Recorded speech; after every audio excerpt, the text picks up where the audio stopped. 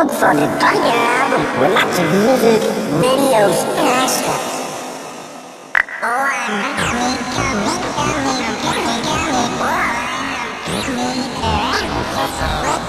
Oh,